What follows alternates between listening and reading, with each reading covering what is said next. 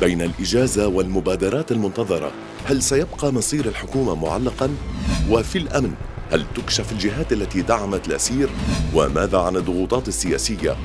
جورج صليبي يستضيف رئيس مركز الارتكاز الإعلامي سالم زهران رئيس هيئة السكينة الإسلامية أحمد الأيوبي وأهالي شهداء الجيش في أحداث عبرة وفي الحلقة أحداث عبرة بالأرقام والوقائع مع الصحفي رضوان مرتضى ضمن الأسبوع في ساعة الأحد التاسعة والنصف مساء على الجديد.